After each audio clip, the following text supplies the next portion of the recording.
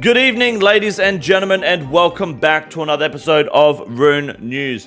I'm your host, Ryan Ryan, once again, same time, same place, every week. It's bloody good to have you here. Last week, we lost Duke Mining as Jagex felt it affected the game's integrity a little bit too much. So this week, they have buffed Shooting Stars, and in typical Jagex fashion, they fucked it. Find out more in this week's episode of Rune News. My name is Ryan Ryan, and you're watching Rune News. This week's Old School RuneScape update consists of Poll 80 and Shooting Star changes. Now, what does that mean for the community this week? Honestly, nothing right now because they've temporarily uh, blocked mining Shooting Stars as they investigate an issue with them not depleting as intended.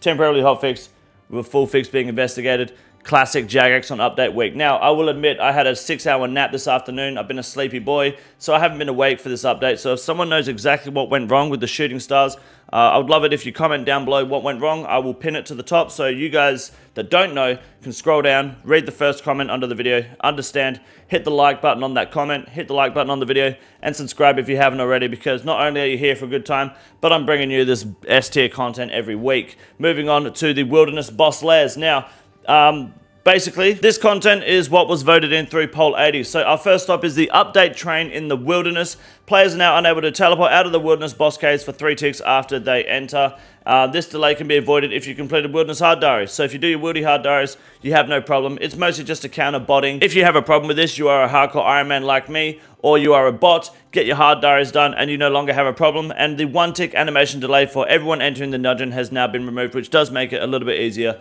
for PKs, which is fine because PKs have, uh, they're at such a disadvantage in the wilderness right now when it comes to PKing. If you die to a PK, you are doing something wrong. You should be able to survive very easily. Moving forward, Wilderness Hard Diary unlocks. Uh, so to clarify, here are the new bonuses you'll receive with your Wildy Hard Diaries. The Revenant Cave will no longer have a teleport delay, which is massive for PVMers, by the way. So if you do your Wildy Hard Diaries, you're getting away every time. And uh, Wilderness Boss Caves, you'll also have no delay either. So I think as long as you do your Wildy Hard Diaries, which most people should be able to do, you're sweet. Another anti-bot method, which kind of fucks me if you understand what goes on in my live streams right here on YouTube, five days a week, no adverts, fuck Twitch, not a cuck. Uh, Wilderness Medium, Medium Diaries, sorry. Um, yeah, you need to complete those to do Spindel, Artio, and Calvar'ion. I think that's good for the game, its integrity and longevity, but for those that need context, I'm a hardcore man, and there is a, I've got like a um, incentive system on my live streams when the stream boss hits zero health, we spin a wheel, we pick a wilderness boss, we go kill that wilderness boss for X amount of kills depending on what the second wheel spins. I now need to go do my wilderness medium diaries to even make that wheel practical. So, yeah, that uh, that's going to make things a little bit spicy. Looks like I'm doing wilderness content soon, boys. So, hopefully, that, hopefully I don't die. Looking forward to that. Thank you, Jagex. You, you you fucked me on that one. Callisto changes though, which is good. Callisto and Artio should now both take damage from magic attacks from any source, which is awesome. Helps you a little bit with your DPS, which is very nice, especially if you're going to freeze it with uh, Ice Barrage. Additionally, if they are not already frozen and the attacking player has equipped has equipment with a total magic accuracy greater than zero, the first attack that would freeze the boss is guaranteed to hit. Excuse me. I don't think I splashed ever on Artio, but Callisto, no, that's that's handy. Hell yeah. Future hits uh, while the boss is frozen are not guaranteed to hit. Makes sense. Jagex has also augmented the magic defense to compensate for this change. Callisto's base magic level has been raised, which if you use Monster Examine, you're probably on the spectrum, or you're just mega curious and want to see it. Just look at the wiki, it's not that difficult. Uh, Callisto's chip damage has been removed, thank fucking god, and his range attack will no longer deal damage through the relevant protection prayer. Easy game. Callisto becomes worth doing for once. If you do everything right in the boss room, you don't really take any damage, which is huge. Blighted Magic Sacks have had an update. I forgot about this, which is awesome. So Bind and Snare Sacks have been converted into Entangle Sacks, and Entangle Sacks can also cast Bind and Snare if the player has the required magic level. The conversion rate is 1 Entangle Sack is 13 Bind, and 1 Entangle is 3 Snares rounded down. So that means if you have 13 Bind Sacks, you get 1 Entangle? Or it, 13 binds cast is 1 Entangle? I don't know what that means, but regardless, uh, that's huge. That just cleans up the bank more than anything, which I'm sure every player will appreciate. Uh, wave sacks have been converted into surge sacks. Surge sacks can also cast wave spells. Perfect. Nothing to complain about. It's, it's just like making everything simple. I think that's awesome. Um, ex existing, although Will that be a problem?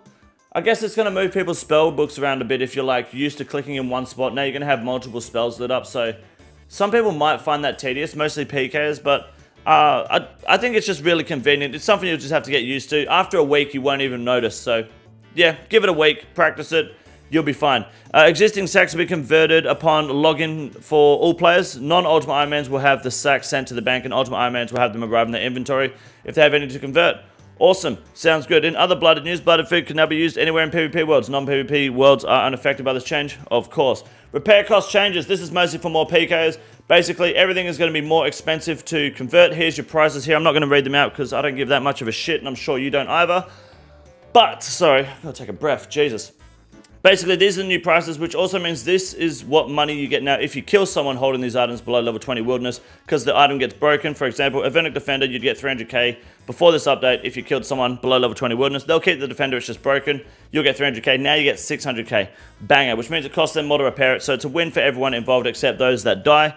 Uh, the Avernic Defender and the Elidinis' Ward have had their values increased. That way they protect over certain items um, and will now only protect to the value of the travel parchment and 500 GP fee, meaning that it won't rank higher than other items as well, uh, like the Berserker Ring. Well, that's for the Event Defenders, sorry. And the Elidinis' Ward will now be, it will have the combined value of the Arcane Sigil and the original Ward, so that way it's worth more than other items, so people don't lose it, because then people are losing their Arcane Sigils and getting very mad.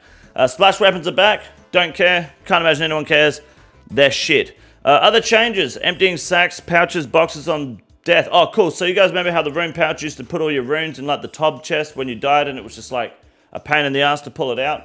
Then they fixed it so your runes stay in your pouch the whole time. Same thing goes to herb sack, essence pouches, tackle box, seed box, bolt pouch. If you're... Who the fuck is dying with their tackle box in their inventory? The... Look, yeah, sure. Good. You can disable it in the settings if you care that much. Shooting stars. They're fucked. But when they get fixed, uh, they no longer deplete faster than with more people mining them, which means that the uh, Star Miners CC that pretty much proved for the past two years that communism doesn't work because everyone in there is a spurg. Uh, not anymore. It's good. Now you can just look for Star Miner CC and use it effectively. Someone calls out a star, you go mine it, you're gaming. Easy days. Uh, bug fixes. The Warp Scepter projectile height has been adjusted to match the Scepter. Thank God. That's awesome. Did they leave the green mark in though? I hope so. Duke Sucellus mining uh, for 5 minute activity time and now restarts if you click the salt again. Okay, that's fine. I can uh, I can live with that. Path of Glouphrie, last week's quest update. Very good quest. Very easy to do. The Scepter is confirmed to be 1 in 320, which we kind of made a you know, educated guess on the wiki already. And the Poison Waste Spirit Tree has been moved to the end of the list. I don't know why they did this because I mean, some people who use their keyboards to use the spirit trees were a bit annoyed, I'm sure, I get that, but also this stopped a lot of bot farms periodically for like a, a day, so maybe the bot farms will be stopped again for another day. Oh well, doesn't matter, I don't care, I barely use the spirit tree anyway. Upcoming poll uh, for September 25th, um, we'll go through this when it comes out, no one cares. The beta world for mobile, if you want to test it, starts tomorrow. I don't care either, so I won't talk about it.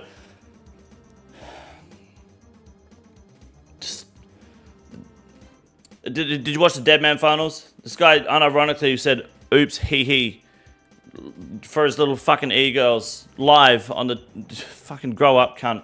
Anyways, now my mouse is stuck. Hold on. Get that cunt's head off my screen. Um, the PvP rotor has shifted. Oswards no longer have LMS available to them. And now we will move on to everyone's favorite part of Rune News. Unironically, for those that have been skipping over it, it's a 10 second segment that you're going to regret missing as we talk about the latest update for this week's favorite content, RuneScape 3.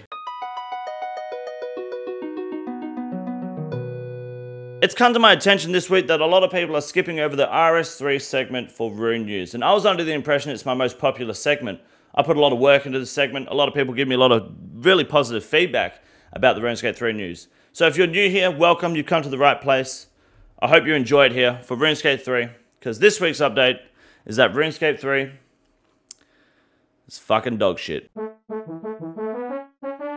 Good evening, ladies and gentlemen. Welcome back to the Grand Exchange segment. I'm your host, Wade Green. Bloody good to see you here today. The Bowl Sleepers are on the rise once again. Who could have told you that? Oh, I don't fucking know. Me, last week, every week going into this year. The Mole Slippers are at 665k, and this is an understatement. They're actually at about 875k, and rising. They're on the rise. We're going to be at 3 mil by the end of the year and looking to beat Primordial Boots on the Grand Exchange by the end of next year. We're currently sitting here at the top. Anyone that's investing in Mole Slippers right now should be sitting around here. And the triangle just gets bigger and bigger. Nice big pyramid here. So if you want to make money on Mole Slippers, buy them now. They might be 800k each, but I guarantee you they are worth the money because they are going to quadruple by the end of the year and they'll be worth 28 plus mil by the end of 2024. Mark my fucking words. My name is Wade Green. Buy your mole slippers today. Become a rich cunt tomorrow. Oh, and then tell your friends to buy them too. That way the, the, the pyramid scheme actually falls into place. Trust me, it's working. Legit. They're, they're worth more than 200k more than this current price right here. This next week, they're going to shoot up. I guarantee it. Now, we have the Awakener's Orb on the dip. Once again, this isn't even news at this point. This is just general knowledge, so... I, I just want to keep showcasing that Awakener's Orbs are dropping. If you get them as a drop, sell them, sell them, sell them, because they're just going to keep going. They're going to probably hit 1 mil by the end of the year, maybe less. Mole Slippers are going to be worth more than these soon. And this is for Blood Torva. How does that tell, what does that tell you? Invest. And then finally, we have the Elysian Spirit Shield. Now, the thing about this shield is, it's shit.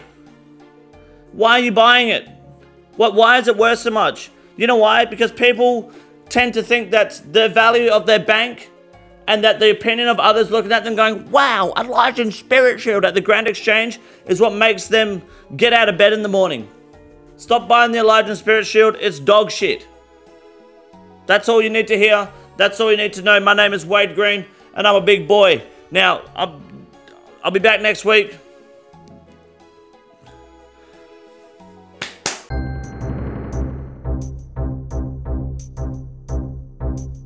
We got a little bit of cheek this week from Good Day to you all. You guys probably recognize him as he's the most consistent guest in this segment of Rune News. Um, he got a, a light bearer ring and he had a few things to say. Ring or no ring, purple is a purple. I'm happy. Shout out to Eldermall and the boys that he's been raiding with for an awesome raid session last weekend. Like I give a shit.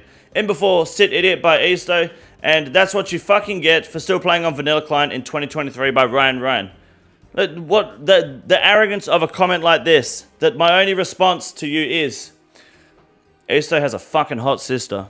In more exciting news, one of the OGs of the community, Tummy Hurts, also known as Marianne, the Tennessee Titan, just got 2k total level and 93 magic at the same time. But in great King Condor fashion, was talking shit to some idiot that either she crashed or that tried to crash her, but she crashed him. Whatever's going on here, it's beautiful. I love it, and it's completely what I endorse. So I, I appreciate it. That's how you know that she's a real one sticking around. Thank you, Tummy Hurts, for not turning HLC like everyone else. And that is it for the Iron Man moments and Rune News this week. Absolutely nothing else special or important to announce, so I appreciate you all coming by this week to Rune News. My name is Ryan Ryan, and Rune News.